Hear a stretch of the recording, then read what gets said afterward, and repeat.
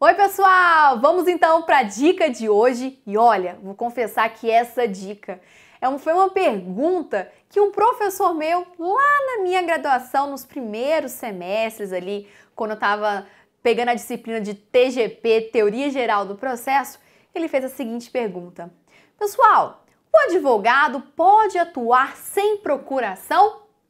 E aí? É obrigatória a procuração para o advogado postular sempre? É sempre obrigatório ele ter a procuração? Caso ele não tenha, ele não pode ajuizar uma demanda? E aí? Pois então, todo mundo na minha época, inclusive eu, respondi: não, o advogado tem que ter procuração sempre. E o item está errado.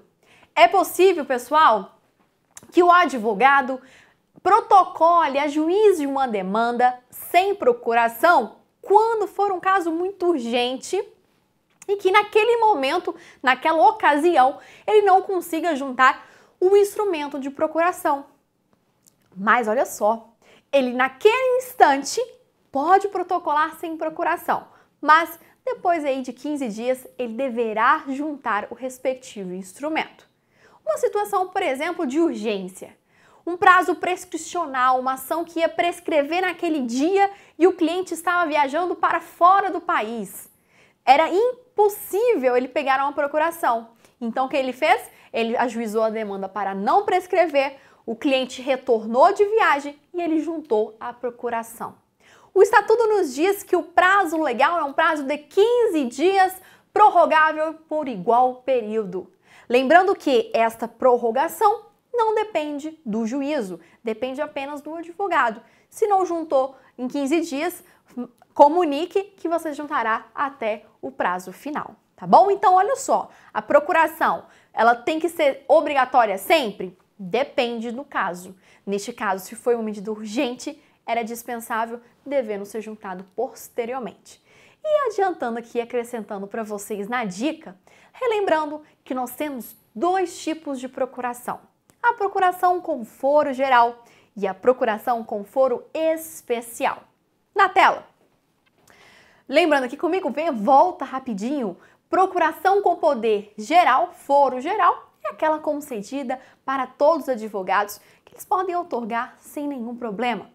Agora, a procuração com poderes especiais é aquela procuração em que o cliente outorga uma competência sua para o seu advogado. Então, permite, por exemplo, que ele receba a citação inicial em nome do cliente, dentre inúmeras situações.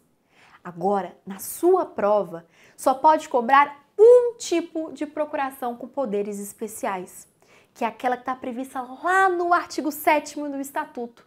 É a procuração com poderes especiais para comparecer em assembleia ou reunião em que o cliente possa comparecer ou esteja presente. Então veja bem, temos dois tipos de procuração: procuração com poder geral e a com poder especial. A com poder especial, a única previsão legal que nós temos no estatuto é a exigência da especial para comparecer em assembleia ou reunião. Atenção, meus amigos, fique atento.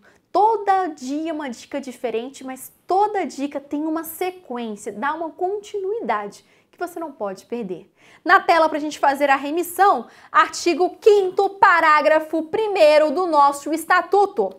O advogado, firmando urgência, ele pode atuar sem procuração, obrigando-se a apresentá-la no prazo de 15 dias, prorrogável por igual período.